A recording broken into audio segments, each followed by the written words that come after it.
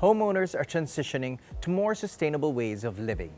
So many terms have been used eco-friendly, earth-friendly, green, environmental. It's been an on and off trend even before the turn of the century. Our choices in life have a lasting effect, and the same can be said about how we build our homes. It's so much easier today than it was just a decade ago.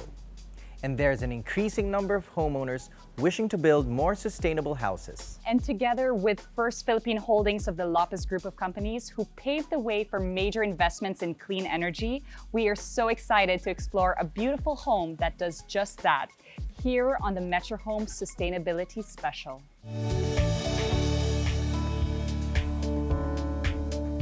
It's a simple question. What is a home? What makes a home? A home is a sacred space that holds dreams, inspires creativity, gives comfort to friends and family, and is just a place where you can be yourself.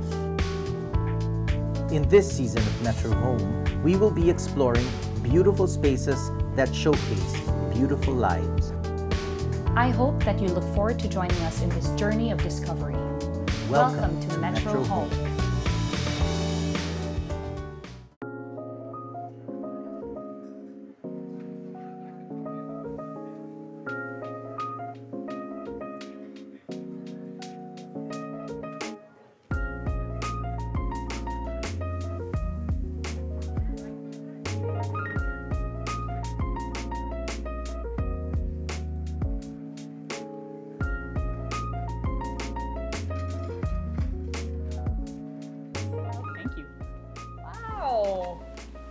Oh, lovely.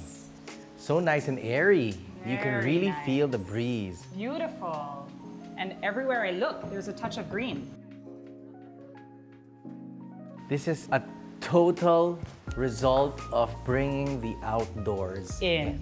Absolutely. The big expanse of the windows and the doorways, they really bring the air in, the Right. greenery. You feel so fresh. And the ceiling height is wonderful. Yeah. I love the little detail of Yes. this wood slats, the lattice work. Right. And you can see they used natural material. you Natural have here abaca shades mm-hmm. all over, which is nice because it doesn't stop the light from really coming in. I love also how they've mixed the contemporary Yes. with the oriental. Yes, those chairs are beautiful. I know the owner has lived abroad quite a bit and mm-hmm. has traveled to different places, and every time she's in a new place, mm-hmm. she kind of brings back the furniture with her. I love how everything is put together though. Yes. You know, the calmness of oriental pieces, you know, they have a discipline to them. For me, they really transcend For sure. trends, looks. So you can really mix them with anything you have. Absolutely. It's a very inviting space. The architect of this house is Noel Saratan.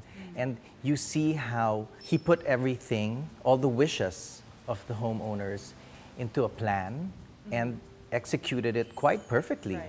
And I thought what a clever feature this is. Because this is so large, this mesh louver effect helps the, the screen kind of stay in place and keep its natural structure. And you know, looking out, you notice that there's a lot of play with natural wood, mm-hmm. right? We have the tanguile on the eaves, and there's the molave wood on the balcony, and then nara touches all over. Yes, and I believe everything has been, all those woods are recycled. Are recycled, yes. And wood always gives warmth, so it adds that familiar, cozy touch.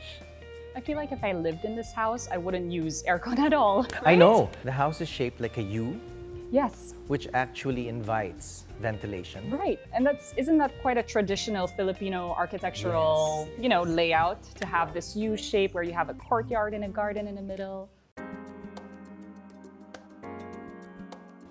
Wow, this is such a nice and breezy area. Very Nice. I love this capiz chandelier. Gorgeous. You know, you walk into this dining room and it doesn't feel intimidating. It feels, you know, inviting. Um, it has warm materials. It's not very formal type setting. And I love how the furniture pieces are all very proportioned in the space. And this is such a feature for me. You know, I- Yeah.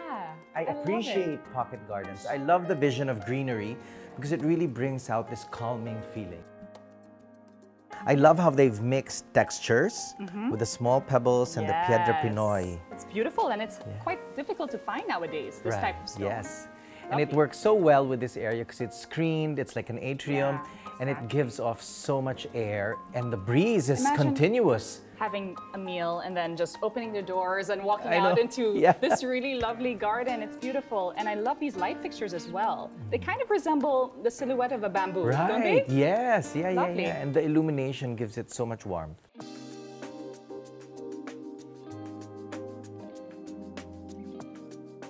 Look at this kitchen. So beautiful. nice. I love all of this. This is bamboo. Yes, right? This bamboo was done by. Rafael Calero, the kitchen. Oh, Cabinet Studios. It's wonderful. Yeah.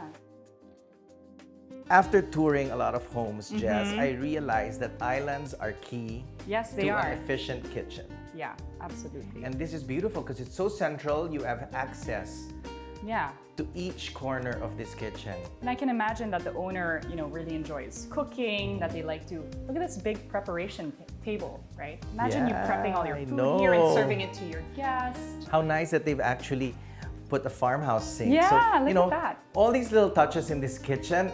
Wow, amazing. And the storage space, well thought of. You have Yeah. open cubbies, then you have the cabinets. You don't see any clutter. I don't see anything but beautiful bamboo panels, nice white walls. This looks like and look, Jess, quartz. the window. Beautiful. Nice. I really love this bamboo. Such a nice bar area. I love this detail, Jess. Very nice. Look at this graphic abstract pattern. Works so well with the kitchen. Yes. Nice mix of materials.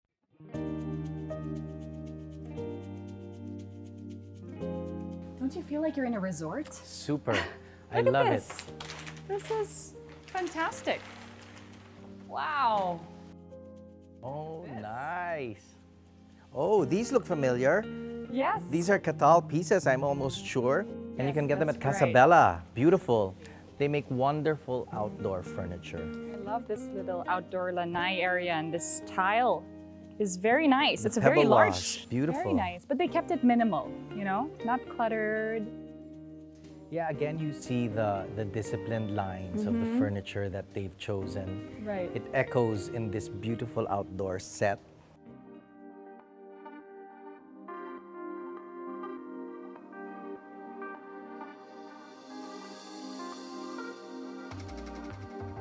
This spot is just so nice. It's it- so relaxing. literally so cool. it is, literally. I know, I love it. And Wow, look at this breeze. The Oh, breeze is fantastic. The, the view is fantastic. I noticed that the perimeter fence has all these slatted bamboos. Mm-hmm. And, you know, that's another point to remember when you're thinking of sustainable architecture. Yes. Because it actually brings the ventilation in. That's right. Everything, every room has just this breeze, Yeah, right? the The, cross ventilation was really the key, the main factor of this home. And you know, I don't see in many homes like areas with just screens all around. Mm-hmm. This area is very unique, I find, where it's this large of a space Uh-huh. and you don't have a single glass around you. It's all Yes. Wooden paneled windows with screens or doors. And, you know, taking off from that word unique, Yes. I noticed this little touch that they have. Ah, You see how they have these sunken planters? Ooh. my eye just went straight to it and I'm like, wow, this is such a good idea. Very clever. You hide the pots, Yeah. So if they're not uniform, you'll never see. So And as I mentioned earlier, there's not one room that isn't bright. Every single room has this beautiful natural light that just seeps into the I know, space. it's lovely. I love the clearance of the windows, the height, the width, the Right. expanse.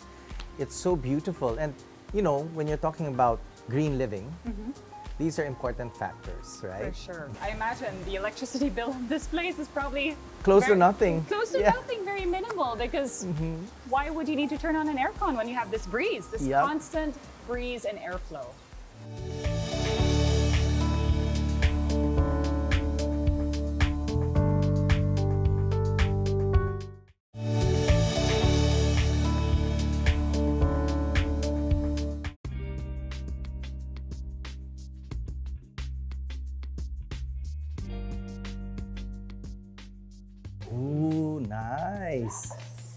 Yes. How they're senorita steps. Correct. And you know, because your your glide up the stairs Yes, will be exactly. very graceful. It's easier on the knees, and they're Mm-hmm. about five inches, right? And this I find such an interesting touch, Yeah. you know, the little Nice Mindanao detail. drums, the brass drums are so lovely. And you know what I also noticed was this motif is Mhm. repeated on the windows, Yes, the door right. In the in frames, the slatted lattice work, So yeah. the designer really, you know, kept that design in mind. This wood really adds so much warmth, no? Yes, to the you know, in- house. In, this house, they've recycled a lot of wood, yeah, so it keeps it to the sustainable green theme. right. For the floors, these And all the handrails, accents, right, window frames, and here, wow, this is a pretty large feature, huh? And what a surprise for the stairwell. Very good place to have it. Perfect because I mean staircases are usually known to be like the hottest place in a house, Yes, right? Because the heat goes up Goes and up. it just kind of builds up and stays there. Normally, the stairwell looks so tight and enclosed. Yeah. But this gives a really great airy vibe. And this is a really lovely window design, I find. And you know, I've seen this in many houses in the past. It's a traditional design, actually, the jalousie window, but I've never seen it like this. I have never seen it look so sleek, you know, modern. It's so practical and it's a beautiful feature. You know, when you go up the stairs, it actually looks very nice, but it's also very, very functional.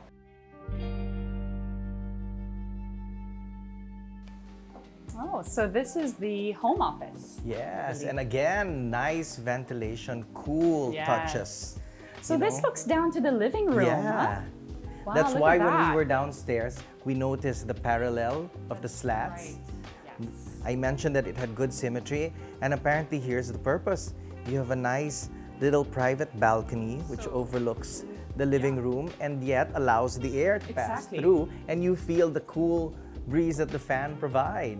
Also, Mm-hmm. because of the jalousies in the stairwell which face this little room, the cross ventilation is fantastic. Fantastic. Nice working space. It's Yeah. also very bright, which is key for a working space. You need it to be bright, yeah. right? And you want it to be comfortable. Yes.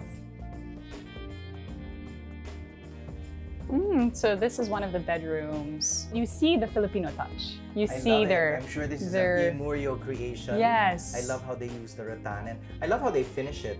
Yeah. Beautiful. And this nice cushioned rattan headboard. Gorgeous.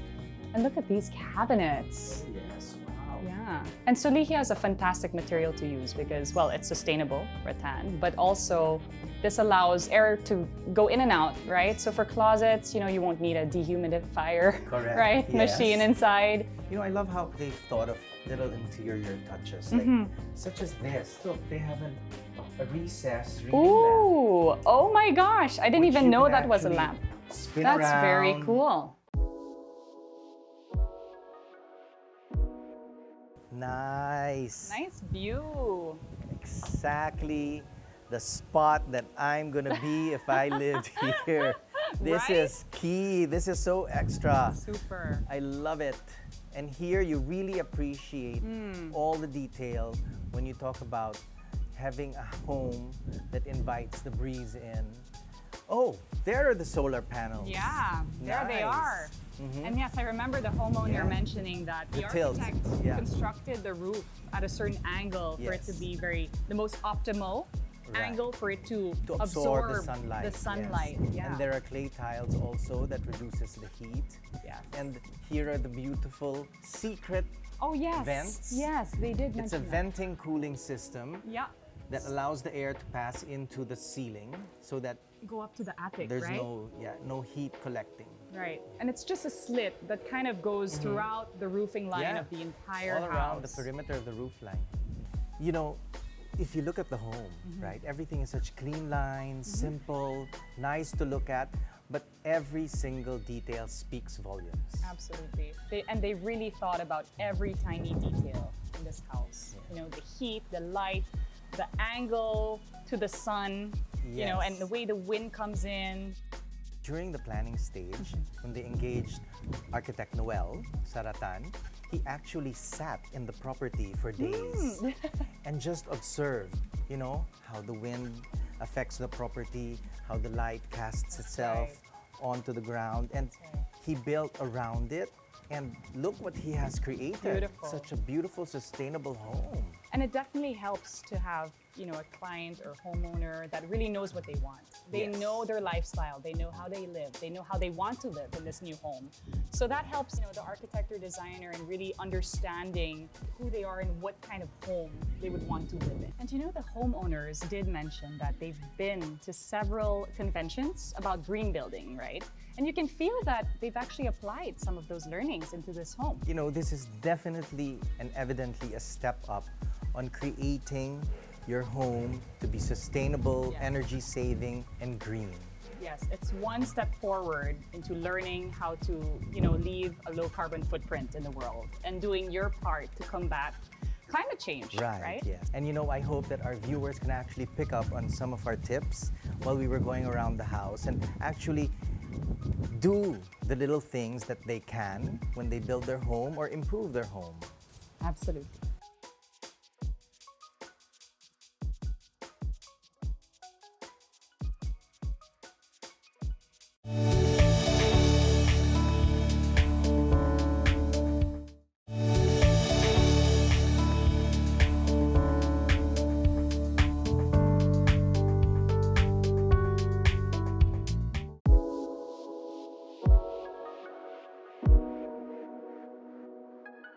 The pulse of a home comes from the heart of the home.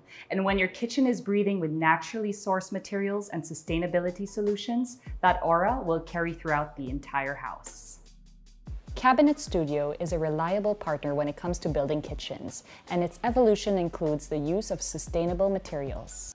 Who better to tell us more about Cabinet Studio's green options than the kitchen king himself, Mr. Rafael Calero, president of Cabinet Studios?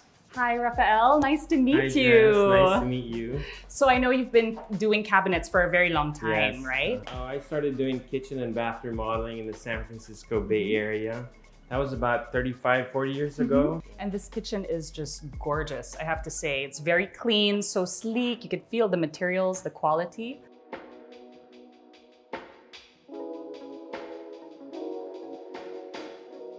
Bamboo, Mm-hmm. because it's natural and it's sustainable, makes a different type of kitchen. I mean, there's lots of kitchens. Right. I'm passionate about doing all kinds of kitchens and the challenges that go along with it. But somehow with bamboo, because it is sustainable, when you're doing this, it feels like somehow you're helping out the environment. Yeah, yes. So you have Absolutely, absolutely. You feel like you're leaving a low carbon footprint. So, Rafael, I was told that you collaborated with the interior designer Mariana Foley for this project. Before we uh, started designing this kitchen, we got a floor plan and uh, collaborated with, with Mariana.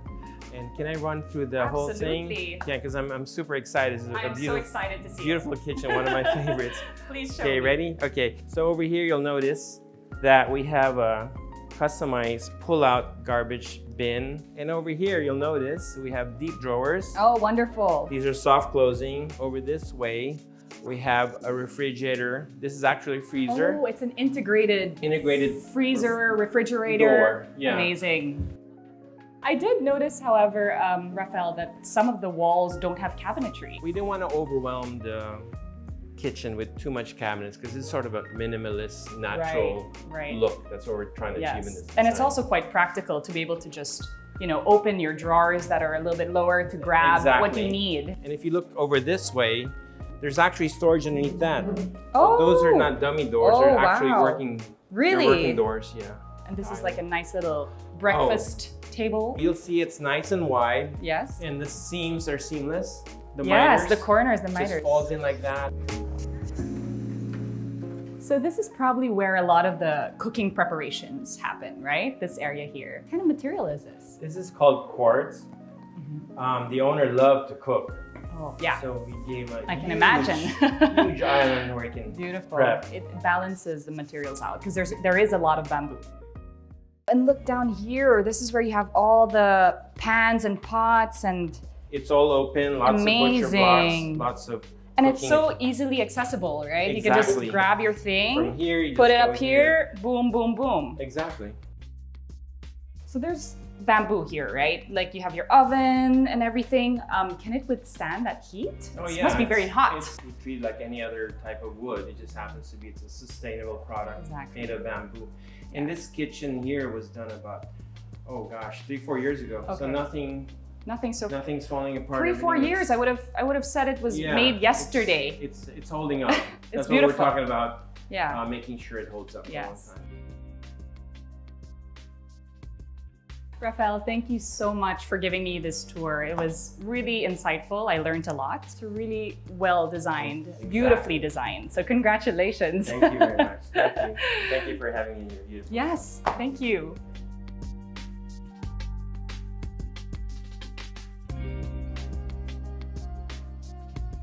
The need for sustainable means is on the rise, and corporations are still adjusting to the demand.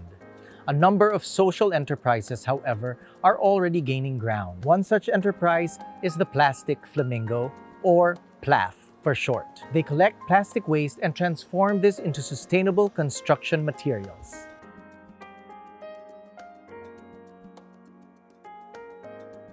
I'm here with Danny, and she is the Product Development Associate of the PLAF. Hello, Danny. What I'd like to know is how did this all get conceived and started in the Philippines? The Plastic Flamingo is actually a French social enterprise with a pilot project in the Philippines. We collect and recycle ocean-bound plastics and we turn them into products like eco lumbers, boards, and pellets. Let's go to the products. Tell me more about them. We're very excited to share our recent product, which are the eco boards. They're made from multi-layered plastics, which are also uh, known as sachets. So we compress it, turn it into boards, and you can use them however you want for furniture, for finishing. We're still doing some tests for, for these, and we also have eco lumbers. The shelter that we are currently in is completely made from eco lumbers. We have a plank and we have a post. Yes, so this would be the sample of the plant. Yes, this is completely made from 100% plastic waste. Fantastic. Hey, it's very dense and hard. It it's like. I'm holding a piece of stone, actually, not even wood. It's comparable to hardwood, so you treat it like how you how you work with wood. You can screw, you can drill it, Okay. saw it, and you can make furniture, walls, and decking. We usually apply them in outdoor spaces. We do also have posts with uh, reinforced bars inside, so they're a bit So more more strong, stronger than the regular posts. What about these guys? What what do they do? We just launched this last week. And right now, we're currently developing designs from them. We have made a table from it. And we actually have a client who wants to furnish their office with office tables Yes, yeah. made from these boards. Do they come in different densities, thickness? What what's the standard size? Right now, we have 1.2 by 1.2 meter, Meter, size. It comes in three different thicknesses. Uh, 10 mm, uh, 16, and 22. We usually use the 22 for sturdier projects like a conference table or a side table. But for some bins, we also have produced trash bins right now. Uh, we use metal structure to hold it together. So everything is still held together by other materials. It depends on the application. So it's really just like building, you know. But is. and these are your new building blocks. Yes. Yeah, but very interesting because I love the texture.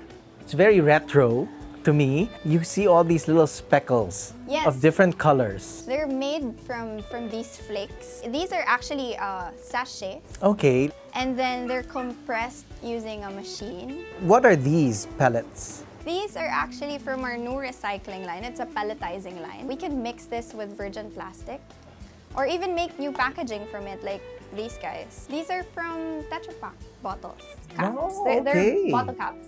They look interesting. I love the color. It's like malachite. With this, you can actually make a multitude of other Correct. products, and then it's all about, you know, It's reusing, recy- yes, Yes. so then nothing goes to waste. Tell me what you guys have actually developed that's in use now. Right now, we're here. We're, we're in our we're in our shelter. It's Uh-huh. a prototype, and it and our goal is to deploy it in disaster-stricken areas. We also did a series of outdoor furniture last year. You can see them in Parañaque City Hall. We also sell uh, picnic tables, outdoor dining sets, uh, bike racks, It's a lot more on our website. Oh, I'm interested. I'm going to look that up. I'm interested to see the bench with a planter because that could be very useful. And since everybody's into gardening now, that might be right up their alley. So thank you, Danny. Thank you for this wonderful insight on the plastic flamingo. I am so thrilled and inspired about your project. Thank you, Anton.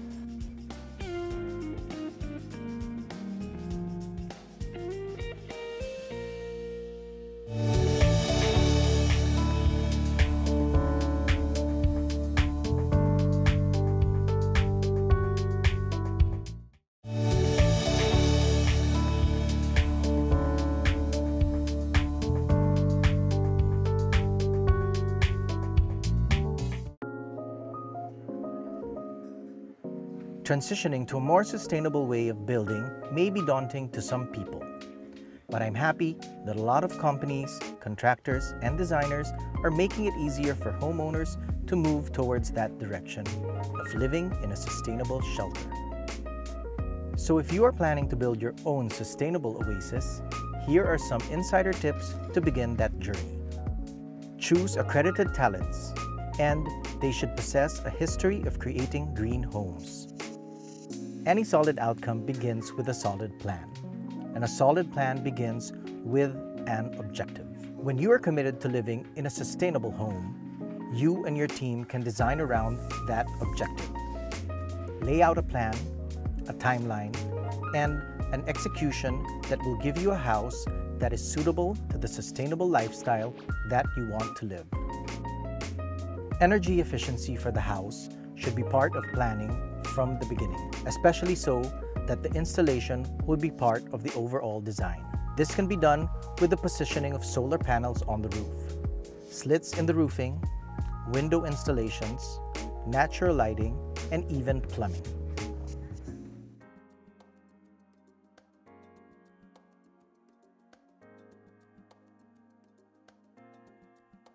Building green may sound daunting to some, especially when the concept is very new to you. But building green and living a sustainable lifestyle are becoming more and more mainstream.